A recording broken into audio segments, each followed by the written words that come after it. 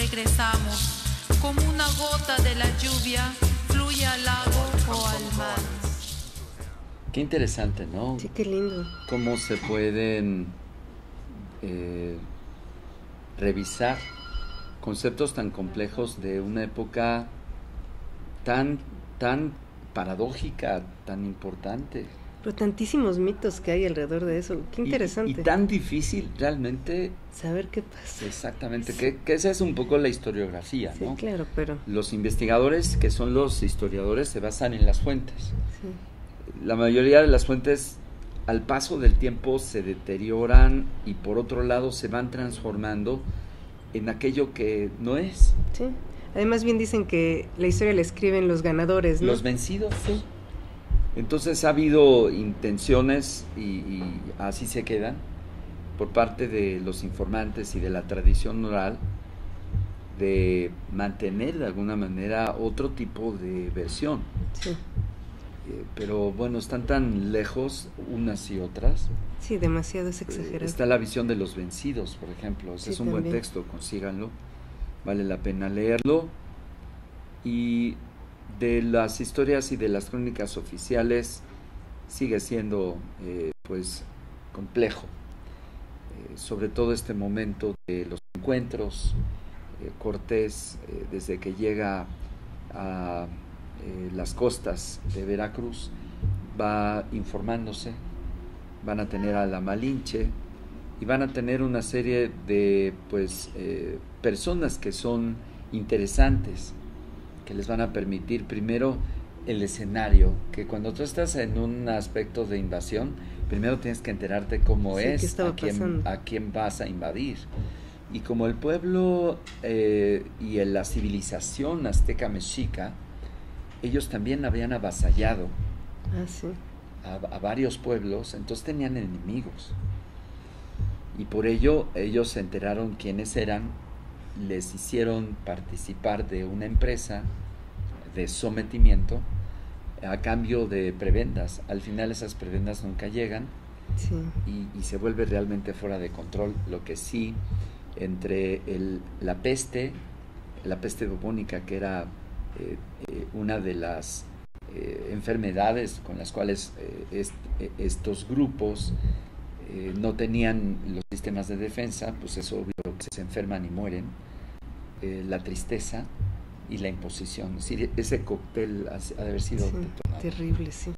Pero los historiadores siguen revisando que si estas condiciones de enemigos de la Triple Alianza de México-Tenochtitlan eh, no se dieran, hubiera sido eh, mucho más larga la conquista y quién sabe si conquista. Sí, quién sabe qué hubiera pasado quién sabe si hubiese sido más un encuentro y, diferentes negociaciones. Un intercambio. Exactamente, de, una, de un sincretismo menos eh, violento, pero esto sigue siendo materia de historia. Pero sería muy complicado lograr un sincretismo así, porque finalmente era un pueblo guerrero, ¿no? Eh, son eh, pensamientos muy distintos. Sí, sí, sí.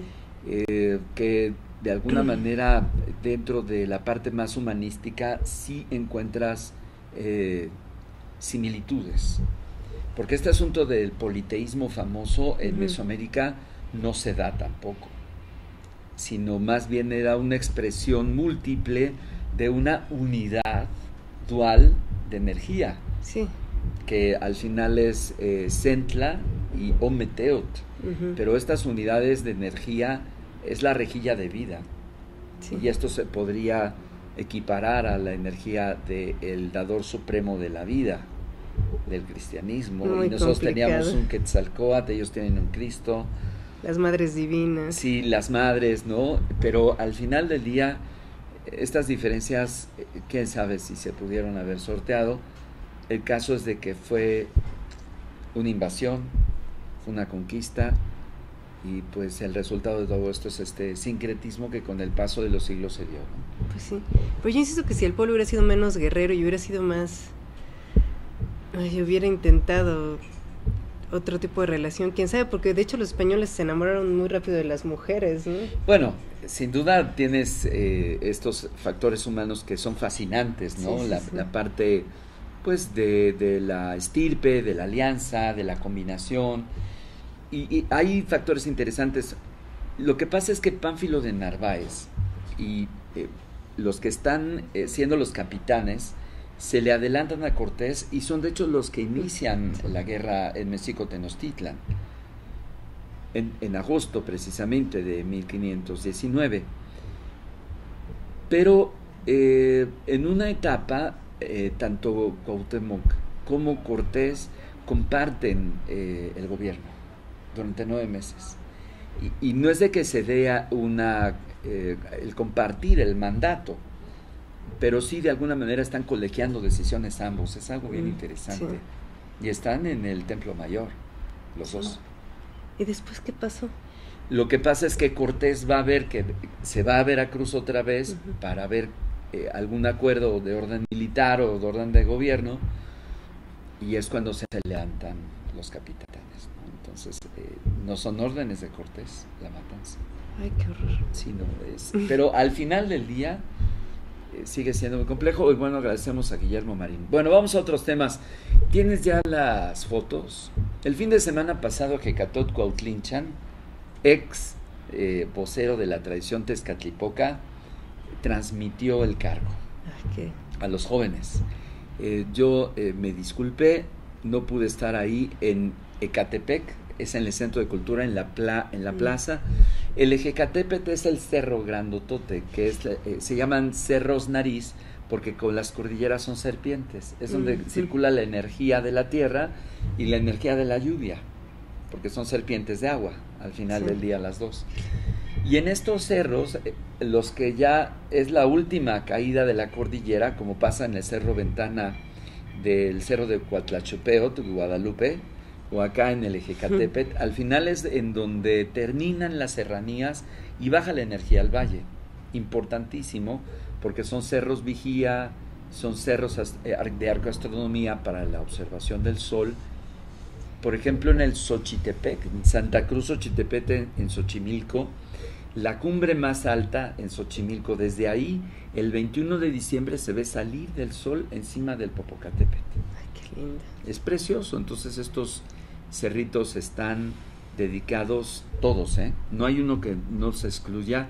Si es la última elevación hacia el Valle Central, fue seleccionado para elegir ahí sitios de ceremonia astronómica. Sí, sí. ¿Para qué? Para empatar los ciclos de cosechas con los solsticios y los equinoccios. Entonces tiene un sentido agrícola y tiene un sentido astronómico para poder llevar el ciclo agrícola. Es decir, tiene todo un mandato este, de comer y también cosmogónico. Nos quedan eh, tres minutos. Bueno, estamos viendo ahí las fotos y vemos como el grupo de la Tezcatlipoca, que son los herederos de la tradición eh, de Tezcatlipoca, eh, que Coutlinchan durante pues, muchos años, ha venido eh, siendo el Temastiani, el, el vocero, la palabra mayor, vamos. Y ese fin de semana él decide, claro, con una estrategia previa, el ceder el cargo y la función a una nueva generación.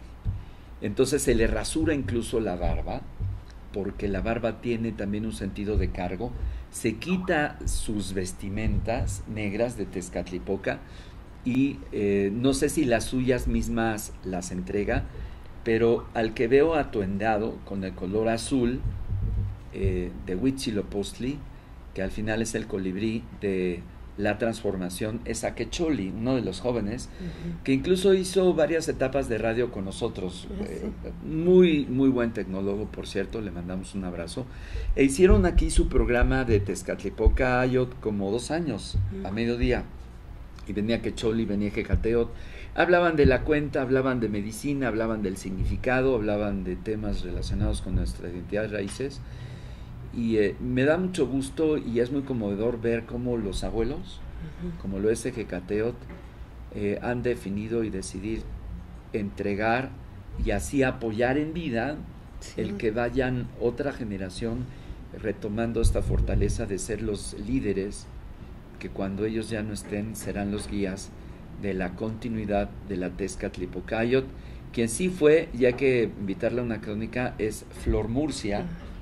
que lleva el fuego de Calimesico, el de Tlatelolco, ahora todo el fuego de los incas, quechos aymaras, y, eh, y esta flor, gracias eh, Karina, si quieres poner esta foto, y esta es eh, pues de alguna manera histórica porque estuvimos juntos, ahí en esa foto lo van a ver, en el ah, aniversario de la Fundación de México Tenochtitlan. Entonces está eh, el Temastiani, el Jecateot, está Flor y está un servidor eh, junto con quien convocó la ceremonia, que tiene también un programa aquí con nosotros.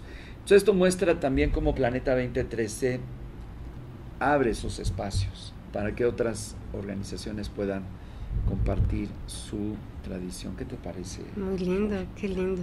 Muy emocionante. Sí, qué, padre. Qué conmovedor cómo los abuelos van entregando sus cargos. Pues bien, de regreso vamos a hablarles sobre el retiro que es este fin de semana de los 1440 minutos por la paz, ya está todo listo. Y vamos a hablar sobre viajes astrales. Un poquito. Un poquito, lo que nos queda de tiempo. Son 10.27, hay tiempo. No se vaya, esto es Conciencia planetaria.